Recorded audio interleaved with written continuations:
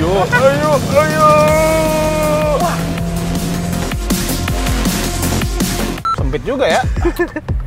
Udah mentok nih depan. Lo ikat. Gimana Fik di belakang? anak-anak Cut! Cut! Kembali lagi, komparasi lagi. Saat ini kami akan melakukan komparasi compact SUV paling laris di Indonesia. Itu ada Honda HR-V melawan Mazda CX-3 terbaru, varian terbaru, dan juga harganya sekarang udah murah banget. Mazda CX-3 ini sekarang hadir dengan mesin 1500 cc, yaitu mesin yang sama ukurannya dengan Honda HR-V. Dan harganya juga mirip-mirip. Siap, seperti apa komparasinya? Kira-kira mending HR-V atau mending Mazda CX-3?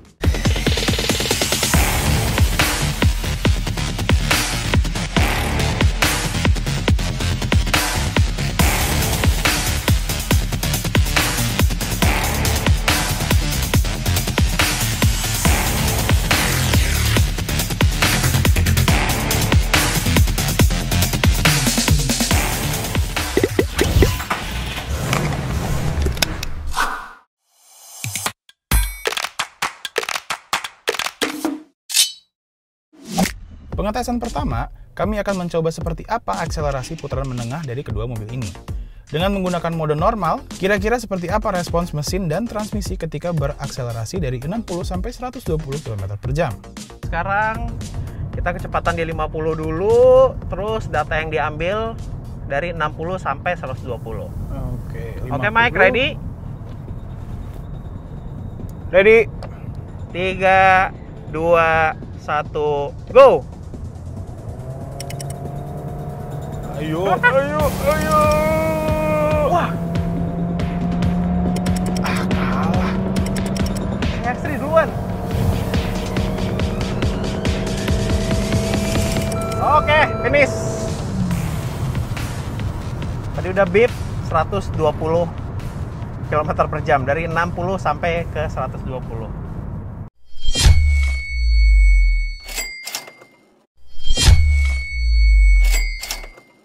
Jadi ternyata CX-3 lebih kencang dibandingkan Honda HR-V. Tapi hasil hasil ininya, hasil 0 ke 100 nya sebenarnya lebih cepat Honda HR-V. Hmm. Selamat untuk CX-3 telah memenangkan balap liar kali ini. Tidak hanya performa akselerasi, konsumsi BBM juga sangat penting di segmen ini. Ditambah lagi CX-3 hadir dengan mesin baru yang diklaim lebih irit. Dan inilah hasil pengujian konsumsi bahan bakar kami.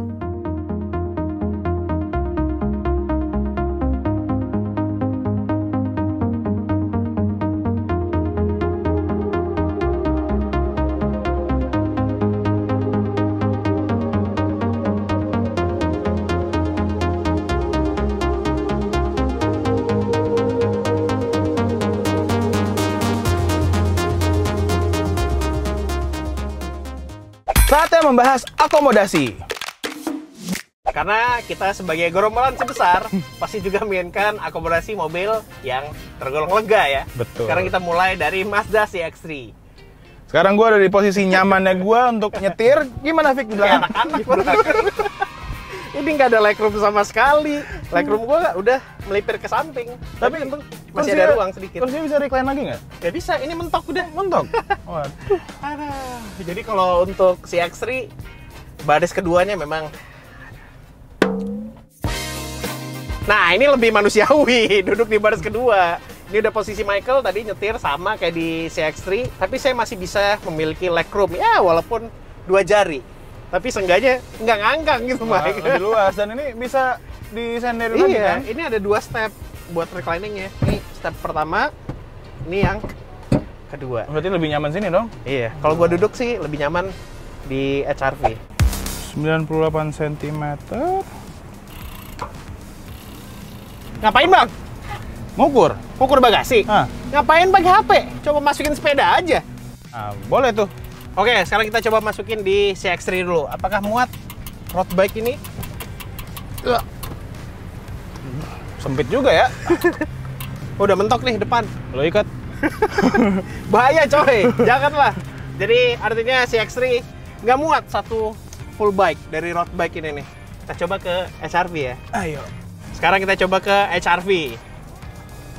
Muat nih kayak. Gede banget. Nah, Coba. wah. Road bike ukuran 54 bisa masuk ke dalam HRV tanpa buka ban.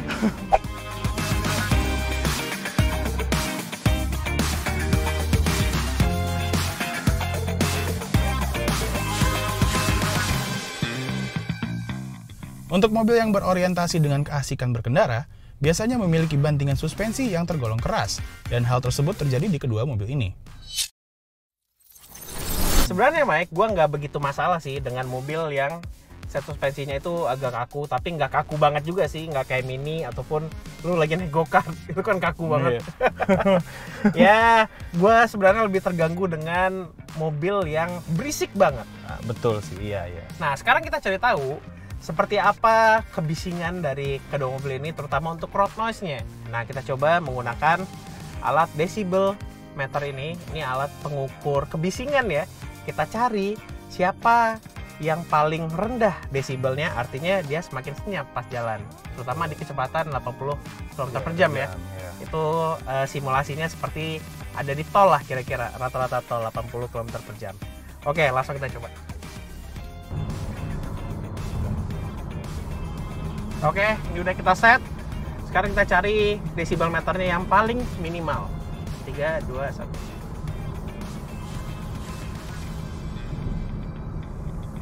Oke, dia udah berhenti di 56. Oh, ada lagi 53,4. Kita hold. Oke, ini hasilnya untuk Mazda CX-3 53,4. Sekarang kita sudah di Honda HR-V. Ini sekarang Michael lagi ke arah 80 km per jam ya. Oke. Oke, udah set. Sekarang udah terus control set 80. 80. Oke, nggak usah digas.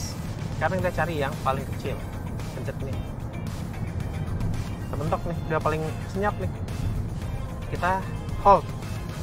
Oke, ini untuk hasil Honda HR-V di kecepatan 80 km per jam untuk road noise-nya 55,2 desibel. Artinya nggak beda jauh kalau kita bandingkan dengan CX-3 yang 1.5 Sport. Dan ini pengetesannya di jalanan aspal ya, Iya, bukan jalan beton. aspal, bukan beton. Maksudnya kalau beton mah bisa berisik aja ya. Iya.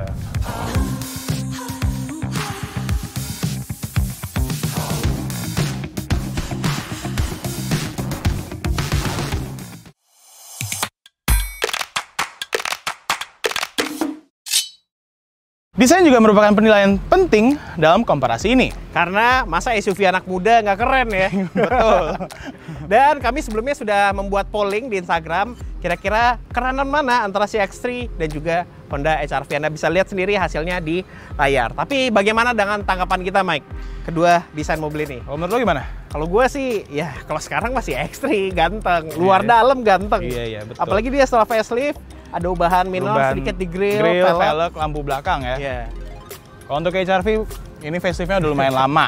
Iya. Dan infonya nanti HRV ini akan keluar model Generasi terbarunya ya. terbarunya. Mm-mm. Kemungkinan masuk Indonesia di tahun depan. depan. Jadi masih lama.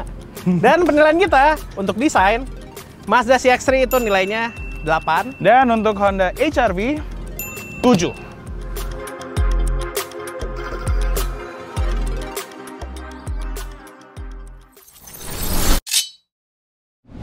Sebelum membahas value for money, kita membahas seperti apa fiturnya. Karena ketika kita membeli mobil dengan harga yang mahal, mestinya fitur juga harus mendukung. Tuh. Oke, dari HRV dulu. Untuk Honda HRV, fiturnya hmm, agak kurang ya, tapi not bad. Untuk fitur-fitur di Honda HRV, dia dilengkapi dengan cruise control, stability control, ya traction control, oke ya. Eh, engine auto start stop button, Iya, juga ada. head unit yang ala-ala floating. yang Yang nggak ada fitur apa-apa itu Ya ya? nggak ada fitur apa-apa ya udah. Tapi AC-nya dia sudah full digital dan ini dengan layar sentuh ya. Jadi tapi bukan tombol beneran tombol. Dia ada electric parking brake dan brake hold. Dan yang paling menang di mobil ini dia ada full jok kulit dan trim-trim samping ini soft touch semua loh. Iya, ini juga ada soft touch sih sedikit, yang atasnya enggak. Oke, sedangkan untuk di CX-3 semua fitur yang ada di HRV itu ada seperti cruise control ada, stability program ada, terus tadi apa lagi? Auto hold sama electric parking brake juga ada di mobil ini. Tapi banyak kelebihan. Airbag ada 6.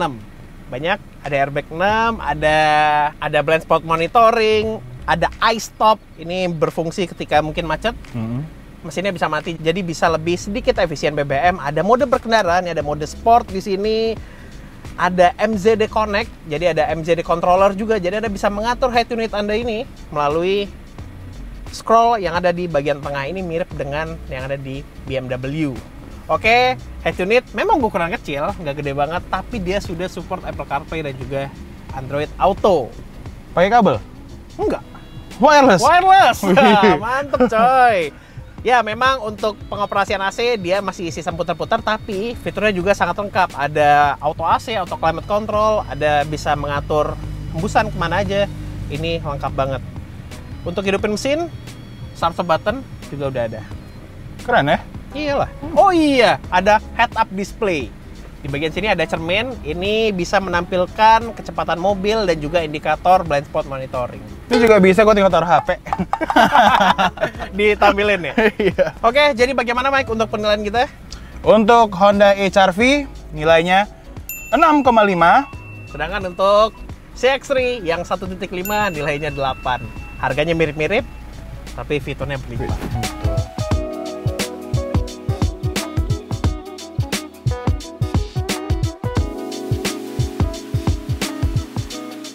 Akhirnya value for money. Dan untuk HRV berapa Mike harganya? Untuk Honda HR-V 1500 tipe E Special Edition harganya 348 juta 100 ribu rupiah. Ternyata Mazda CX-3 yang 1500 cc ini dia lebih murah dibanding varian HR-V. Harganya 339 juta 900 ribu rupiah dan kalau misalnya Anda menginginkan warna merah seperti ini, Soul Red, itu ada tambahan biaya 4 juta rupiah yang artinya tetap lebih murah CX-3. CX-3 ini luar biasa ya film ya. Iya. Ini top banget, mobilnya efisien, fiturnya banyak dan desainnya anak muda banget. Walaupun ukurannya kurang ya. Iya, walaupun mobil ini agak kecil untuk dimensinya. Sedangkan untuk HRV dia memang akomodasinya luar biasa Luar lega biasa, ya. ya. Dan performa pun dia eh, cukup oke lah, cukup efisien dan cukup cepat untuk akselerasinya. Oke, untuk penilaiannya, Mazda CX-3 itu dapat value for money nilainya 8. Dan untuk Honda HR-V nilainya 7.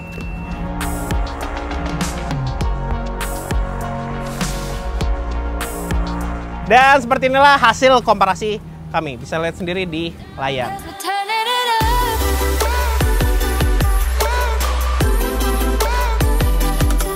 Oke, jadi bagaimana menurut Anda komparasi ini? Apakah Anda mending CX-3 atau HRV? Sampaikan di kolom komentar. Jangan lupa like, subscribe channel Cinta Mobil TV. Selain itu download juga aplikasi kami Cinta Mobil di App Store dan Google Play. Di situ Anda bisa membeli kedua mobil ini dalam kondisi baru, membaca berita seputar otomotif dan tips and tricks seputar mobil. Sampai jumpa di video-video selanjutnya.